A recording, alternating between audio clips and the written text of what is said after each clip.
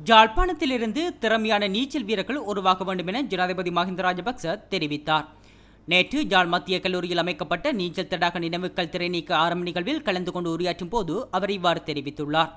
விளையாட்டுத்துறை மூலம் ஒற்றுமையை ஏற்படுத்த முடியும். விளையாட்டுத்துறையில் கிராமத்து மாணவர்களும் சாகசம் புரிய முடியும் என்பதையும் எடுத்துக்காட்ட வேண்டும். முன்னாள் இப்பாடசாலையின் விளையாட்டுத் துறையில் முன்னணி வகித்த நாகலிங்கம் எதிர்வீரசிங்கம் போன்றும் விளையாட்டு வீரர்கள் மீண்டும் உருவாக வேண்டும். அதேபோன்று அமைச்சர்கள் நாடாளுமன்ற உறுப்பினர்களும் உருவாக்க வேண்டும்.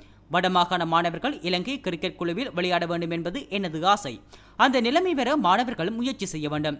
கல்வி மூலம் சர்வதேச ரீதியில் மாணவர்கள் பெயர் பெற வேண்டும். அறிவு என்பது பெரிய செல்வம். அதனை யாரும் களவாட முடியாது.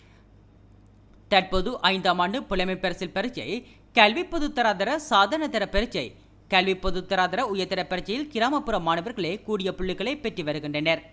இம்மாணவர்களுக்கு கொழும்பு பாடசாலைகளில் கிடைக்கின்ற வசதிகளை கிராமப்புற பாடசாலை மாணவர்களும் பெற்றுக் கொடுக்க வேண்டும். மாணவர்களின் ஆளுமையை மேம்படுத்தி ஒற்றுமையை ஏற்படுத்துவது எமது பொறுப்பாகும். தாய் தந்தையர் குரு மற்றும் தாய் நாட்டை ஒருபோதும் மறக்கக்கூடாது என்றும் ஜனாதிபதி தெரிவித்தார்.